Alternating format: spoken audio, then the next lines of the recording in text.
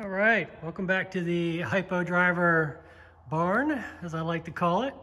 Uh, last week, someone on the channel asked a really good question, which is, what is a GSR? Um, if you watch the channel, you've seen I post a lot of track videos of me in the track in this car.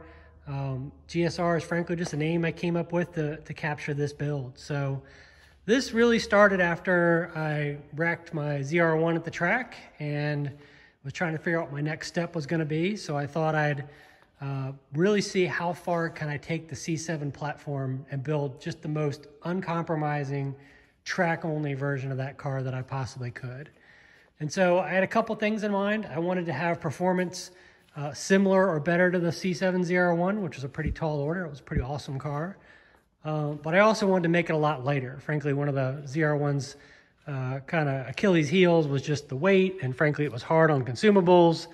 So I wanted to try to see how light I could make a C7 knowing that it would never have to be a street car.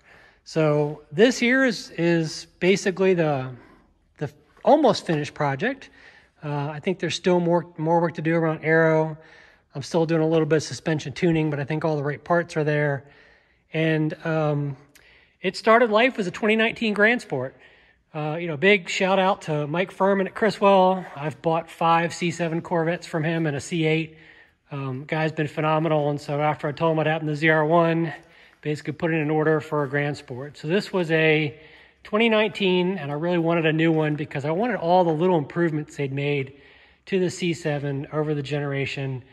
Um, but this is a 1LT. PDR was really the only option I got. Um, I think in retrospect, I kind of wish I'd gotten uh, the HUD. I didn't really think about it at the time. But that was the starting point. Um, if you look on Corvette Forum, there was actually a build thread that I did, and I still update every once in a while. Um, but here we are. So I'm going to start at the back of the car. I'm actually going to do this video in, in two parts. I'll do kind of above, and then I'll do the underneath shot, kind of suspension uh, drivetrain. So first thing you'll see is I have what is the ZR1 wing on the car. Uh, in the wreck, the ZR1 wing was, was actually damaged. Um, I kind of held on to it as a little souvenir. Didn't seem like it was any good. Um, but I took it to, uh, when this project got going, and I thought, well, I'd like to have a wing. I'd like to have something that's a little bit of a carryover.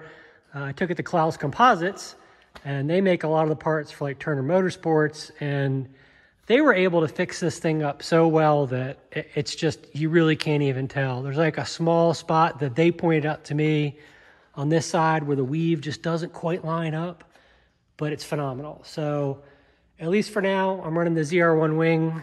Uh, as you see it here, it's actually sitting in the, the more aggressive angle of attack. But in the back of the car, as you can see, this thing's been fully gutted.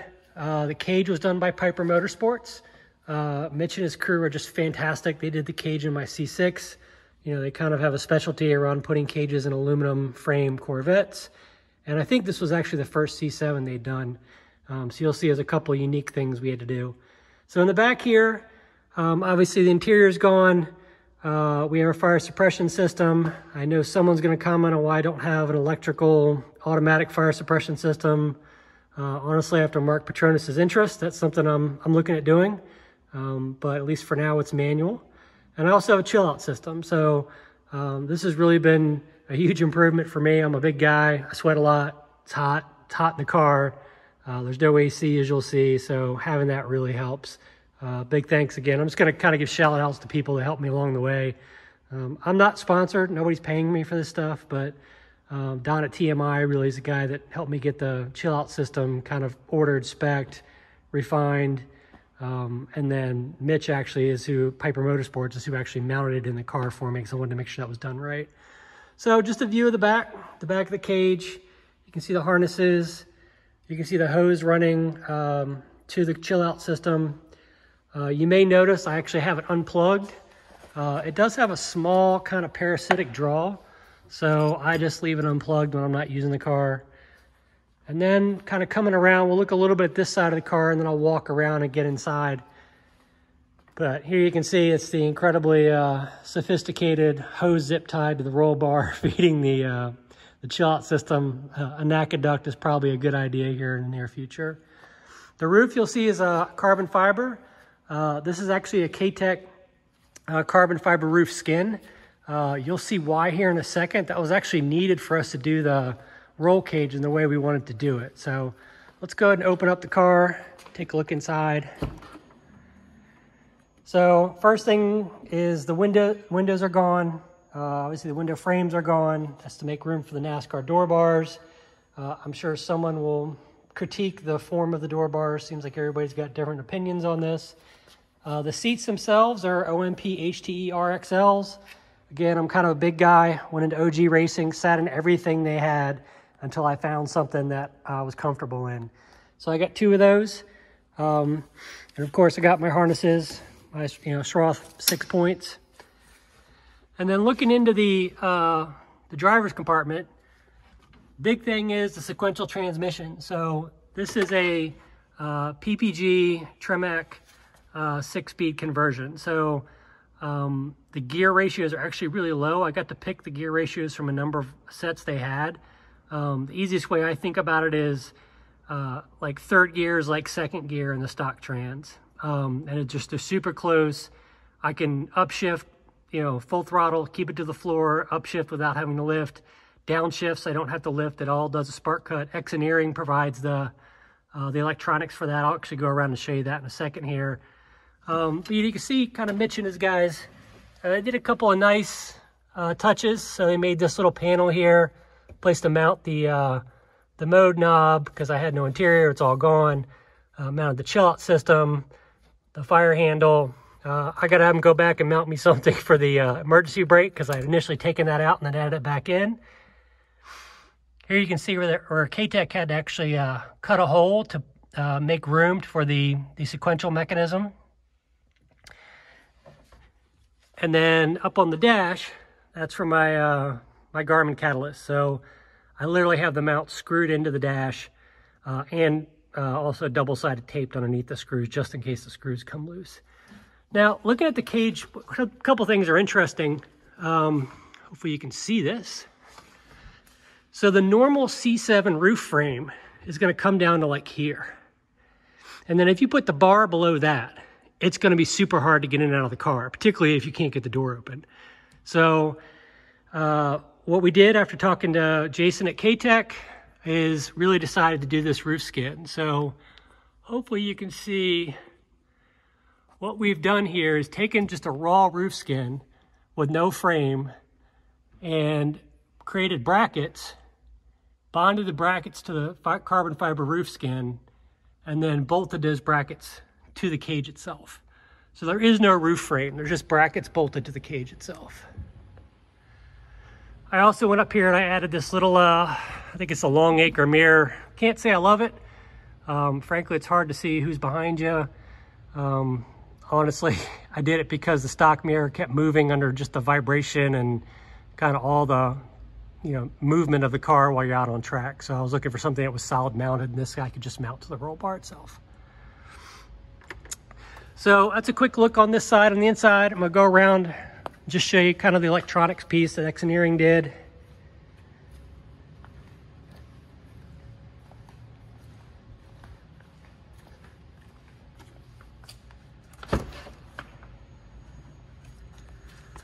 So here you can see we've got the Xeneering control box mounted on the right hand side of the, the tunnel there. Um, I also have, you'll see like this red cable. This is actually for the DSC Sport controller. So um, I wanted to make it really easy to get in there and change the calibration on the shocks. So I basically ran the cable up across the, the windshield cowl and then down. So now it's in the, in the footwell and it's easy to get to. This other cable here is actually for doing logging on the Xeneering controller um, if I need to do that out on track. And then um, I have basically a laptop or a, a small laptop that I can just actually Velcro zip tie to this uh, seat to do logging out on track.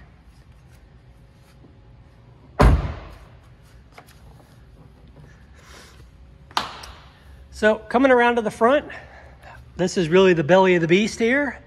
Um, this is the Katech 427 7 liter LT1. So this started life as you know a regular LT1, but 465 horsepower. Um, they bored it out to you know seven liters. Um, it's got an MSD intake. It's got a big cam. It's got piston squirters. It's got forged internals, forged crank. Um, when they put this thing on the engine dyno on race gas, it made right at 750 horsepower. Um, on uh, on pump gas at the wheels, because I had them tune it for 93 octane because frankly, one of my goals here was to try to reduce consumable costs. So I didn't want to run $9 a gallon or more uh, 100 octane. I wanted to run just 93, which is still stupid expensive at the track. Um, but even on pump gas, it still made, I believe it was 640 horsepower at the wheels. So um, pretty stout. You can see we've got, um, let me come around this side actually. So it's got an ARE dry sump system. It's actually a four stage dry sump. Um, I'm gonna grab a light bar here so maybe we can see a little more down in there.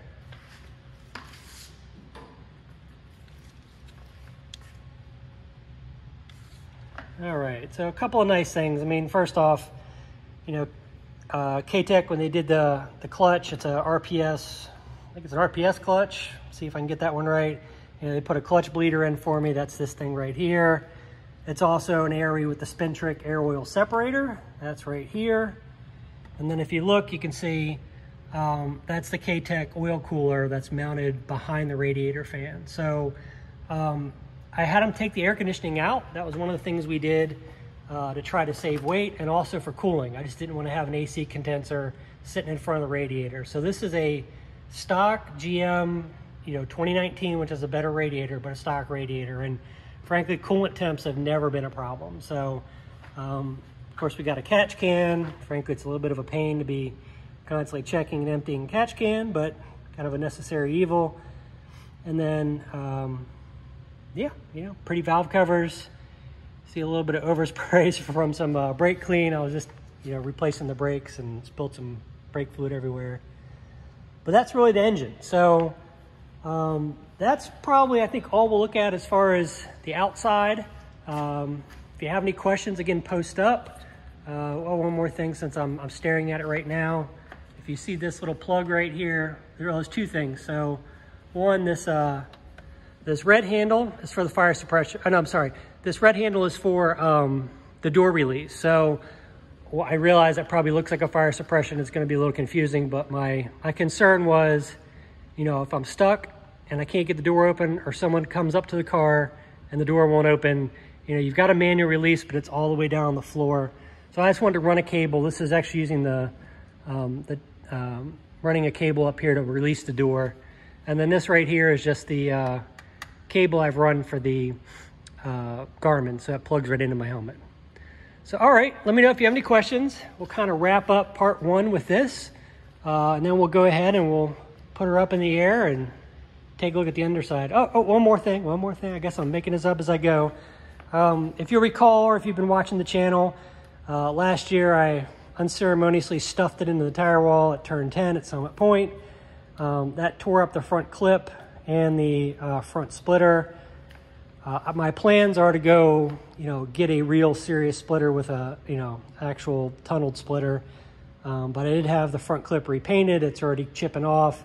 But this uh, splitter was frankly really inexpensive and it was from Extreme Online and it's slightly bigger and you'll see when I get it up in the air, it basically leverages the factory uh, under tray, which is you know actually somewhat uh, tunneled, or not tunneled, but um, you know a little bit of an underwing, um, and seems to balance out pretty well with the wing. Actually, really surprised by that. So all right, let's uh, put it up in the air and take a look underneath.